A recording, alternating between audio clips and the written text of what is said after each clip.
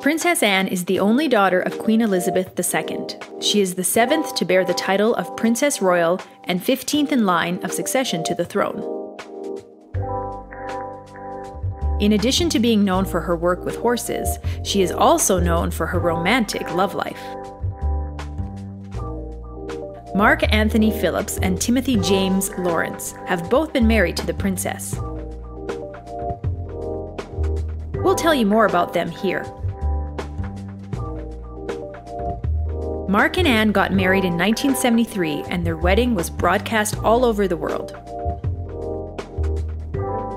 Phillips was an outstanding British equestrian rider, and he won the gold medal at the Munich Olympics in 1972.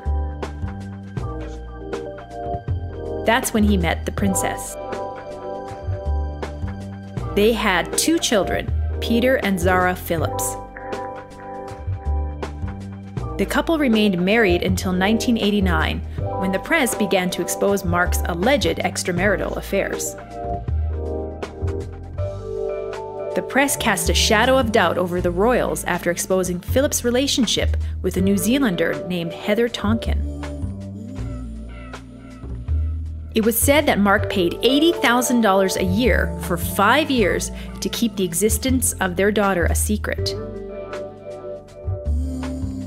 In time, the rumors were true, and furthermore, the press also revealed a series of letters between Anne and Commander Tim Laurence.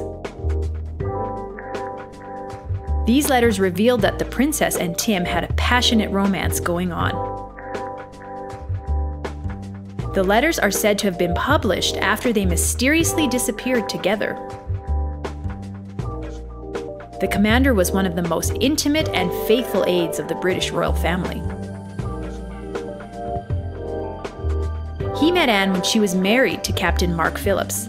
It was said by then that the princess was already tired of her fake marriage.